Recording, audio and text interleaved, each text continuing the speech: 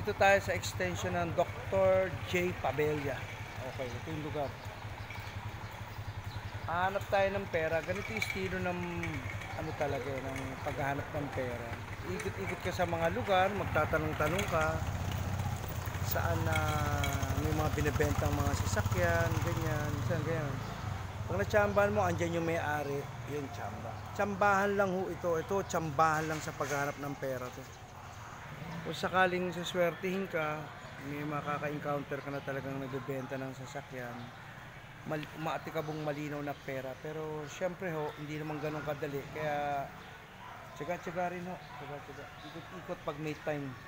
Ito yung tradisyong ah, pinagsimulaan ko na matuto mag-ahente, maghanap ng pera, ganito ho. Tapos sa nagkaroon ng marketing si Jario, buy and sell. Dumating ang OLX pagdating ng 2012 nawala na. Nawala na. Nasa computer na lahat. Ito, dito tayo, Dr. Pabella ho ito. Naghahanap pa rin ako ng pera. Nasaan ang pera? Saan makikita ang pera? Nakabisikleta lang ako. Bisikleta vlog tayo ngayon. Pinas ko na yung manibela nito kasi mahirap. Naka, ako eh. Ay, di, nakaganon ako eh. Med- Medyo gumanya na ako ng konti. Second vlog natin, kanina napasok ako sa tapoy. Siguro may... Ewan ko kung may anim na anim na buwan yata o tatlo o apat o limang buwan akong ah, hindi nakakapasok ng grocery. Buwan na. Bira na, bira eh. Walang pera eh. Eh, talagang ganyan ho.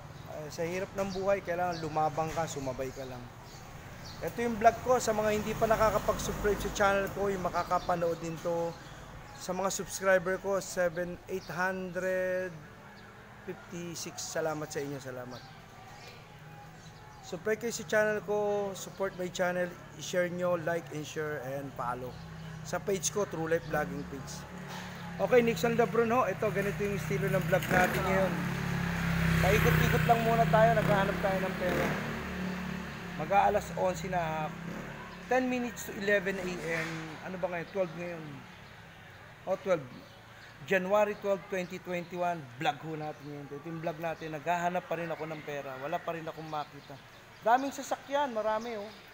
Problema, hanapin mo yung may-ari. Saan yung may-ari? Tanong-tanong ka lang.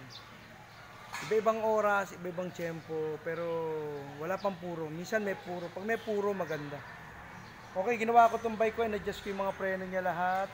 Ginawa ko yung mga preno, pinag-adjust ko siya.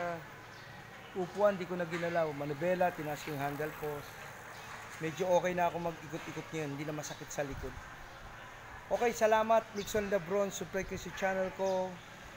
Papasyal ko kayo. Saan papasyal Nixon? Dito, paikot-ikot. Thank you very much, yo mamen.